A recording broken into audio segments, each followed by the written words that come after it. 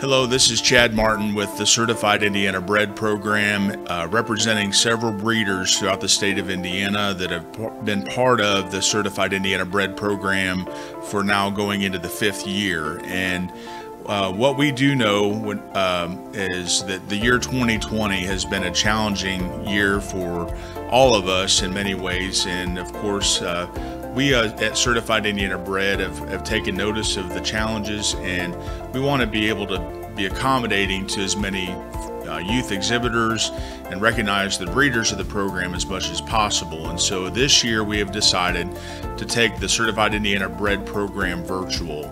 And so, what that means for you is an opportunity for exhibitors to be able to show their hogs that they've fed all summer with the intention to going to the Indiana State Fair, allowing us to continue to social distance um, and maybe stay out of that mix and the fray of that, but also to getting those a chance for all those exhibitors to showcase their work uh, that have been feeding those barrows for CIB program.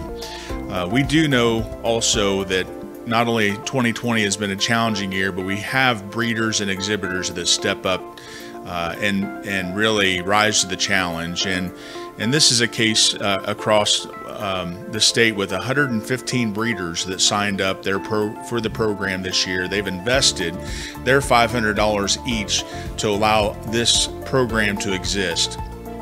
And so we are going to try to recognize as many exhibitors as possible.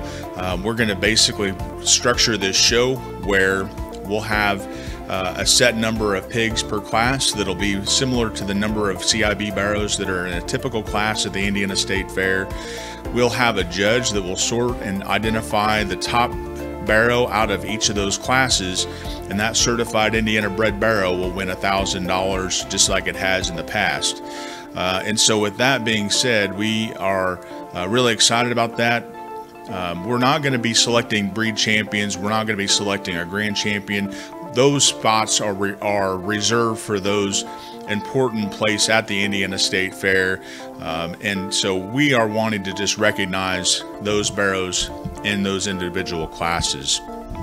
What this means for you as exhibitors, um, get videos, uh, take your videos. We'll uh, allow each exhibitor uh, to uh, enter just two barrows um, each.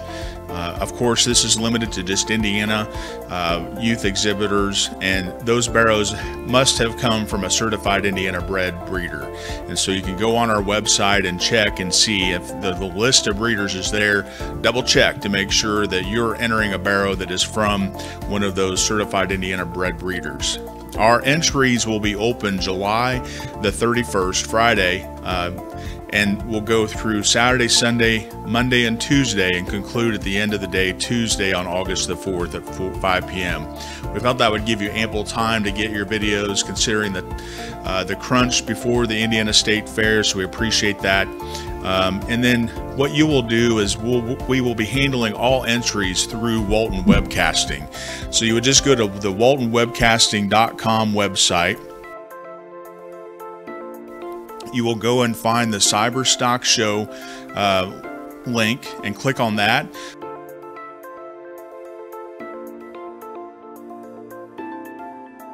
Scroll to find the CIB Certified Indiana Bred event and click register. Uh, once you do that, uh, we, we need for you to um, this is a free event. There's no entry fee involved, thanks to our sponsors of the Certified Indiana Bred program. Um, but this is a free event, so when you check, you'll receive an e uh, email entry form. Uh, the entry form will be emailed immediately to you. Uh, check your junk email, uh, and to do that, fill out the form, press submit, and then check the class schedule on the website the day before the show, which would um, well, we'll have you do that on Thursday uh, the following week here. So uh, it would be August the 6th. So double check as you're sitting in line at the state fair, uh, maybe getting your tack in and that sort of thing. Uh, double check the website uh, to make sure that your barrows have been entered into the class. We'd also need you to scan a photocopy of your pedigree, and we'll need you to attach that uh, along with your entries. Um, and then we would prefer when you're making the videos to also be mindful that the resolution needs to be uh, 1920 by 1080, uh, no 4K videos. If you could also uh, uh, when you're taking your video, if you could scan across and get the footage of the barrow's ear notch uh, at some point uh, close by, um, we would ask for you to do that. Videos, you know, could be um, 30, 30 to 50, 60 seconds long. Um, so just uh, be mindful of that. We also want to recognize our sponsors, and we've been very fortunate to have a solid sponsorship to make sure that Certified Indiana Bred goes forward. ADM ShowTec uh, is is our title sponsor for the fifth year in a row to the tune of ten thousand dollars. So this is a fifty thousand dollar investment that they have put into the CIB program, and we're so thankful for them, Junior Schillinger and their and their team, uh, for that credit as well. Um, Farm Credit Mid America has sponsored our Duroc breed for the fifth year in a row, and we surely thank uh, them, Ashley Harker and team, uh, for that. Matthews Feed and Grain are our Chester sponsors, and we also are very fortunate to have the Indiana Pork uh, uh Association uh, sponsoring the landrace breed. So, once again, it's a case where 2020 has been a challenge. We do want to thank the Indiana State Fair for all that they have done for us in the, in the past, and we continue to look forward to working with the Indiana State Fair and their leadership moving on into, the, into next year. We just felt this was the best pathway for us to, to make this program happen for everybody involved in the state and expand the opportunity uh, for those purebred barrows raised right here in the state of Indiana to be recognized. And we're so thankful for all the breeders and everybody that makes this program a viable opportunity. Uh, for, for years to come, hopefully. So, onward and upward to 2021, but for now, we're going to make it happen in 2020.